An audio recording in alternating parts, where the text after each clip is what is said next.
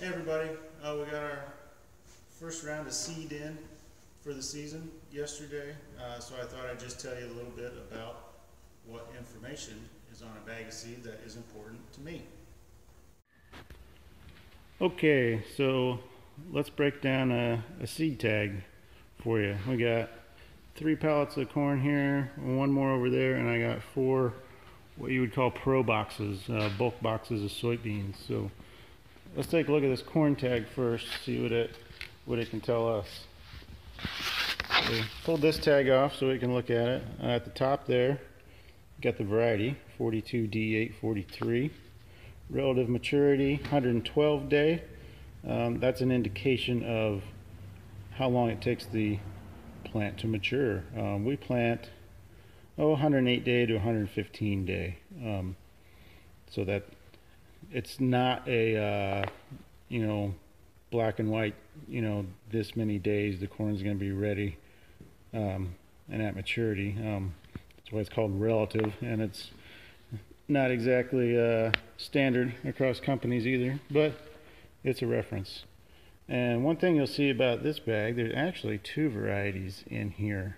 Um, the bulk of it 94% of it is this 42D843 and there's another 5% in there and we will talk about what that is.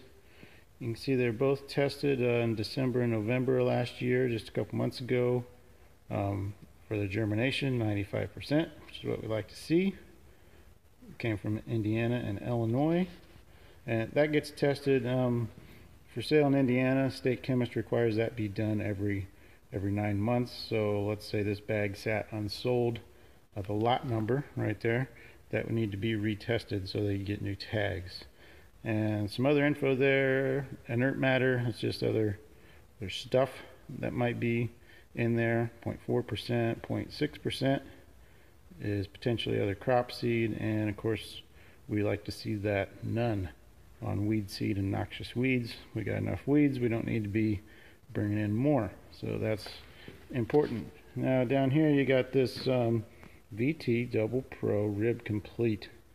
What does that mean? So VT Double Pro, what that means is we have two modes of protection, um, above ground protection to basically protect the ears uh, with a BT trait from corn earworm. So uh, I don't raise sweet corn, but you ever see some of those worms in your sweet corn, um, they're not going to get in here. Uh, there's also BT sweet corn. So if this was a, um, a VT Triple Pro or a SmartStax, I would also have corn rootworm protection. Um, I'd have below ground and above ground. We've had very, very low corn rootworm pressure here the last few years. Um, so we got away from the Triple Pros and the SmartStax here for a while. Um, saved some money for uh, something we don't really need right now. So what else is on here? Um, flip over on the back. It'll tell you all about the seed trim. If you can see that, um, that Acceleron is protecting us from insects and, and disease. It'll tell you all about the pesticides that are on there. So uh, seed treatments are nice.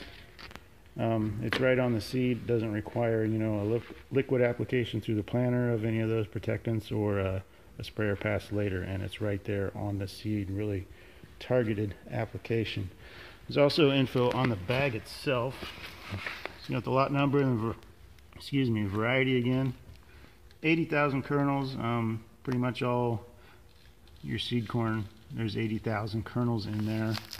What I'm interested in is the seeds per pound 1421 so I got a chart in my planter book which will tell me which seed plate to use um, based on vacuum. Um, uh, there's a vacuum that pulls the seeds onto the cells of the seed plate. So 1421 seeds per pound here. Let's go to this 4814 variety over here. I got 1623. Possible those may use different plates. We've got a standard corn plate and we got a small corn plate. So that'll tell us which one is the right one to use on that chart. And we also grow popcorn, so we have a special popcorn plate um, actually, we had pretty big popcorn seed last year, so we actually used the small corn plate instead of the popcorn plate, according to the chart. So we want to go look at these soybeans here. Basically the same information. Uh, variety is 2480 CR2. This is telling me that this is a maturity group 2.4. So for us, that's a little bit of an early maturing soybean. Got your germ, 85% tested just this year. Just this is March. That was just tested in January. Seeds per pound. There's 3,150 seeds per pound in here, which that will be good. I will uh, when I fill up with these, I will be able to pack a few more in there and uh, plant a few more acres as compared to this. Um, little bigger seed, um, about 600 less per pound. Do you have a little bit of slightly better germ on this one.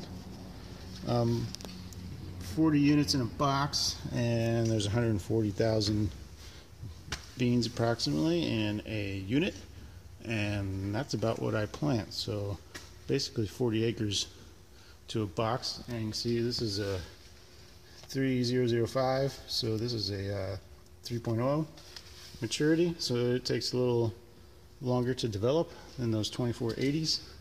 Uh, these 2480s, um, been planting them for a few years. We put them on where we plant our um, cover crops. Um, try to get these off a little earlier if we can. Get some more sunlight, get those cover crops going before winter sets in. So anyway, that's some of the important stuff that a farmer like myself needs to know when we check out a bag of feed. Uh, thanks for watching and uh, sure to keep up with me. Facebook, uh, blog, thefarmerslife.com, Twitter, um, all at the, at the Farmer's Life. So just look them up and stay tuned. Thank you.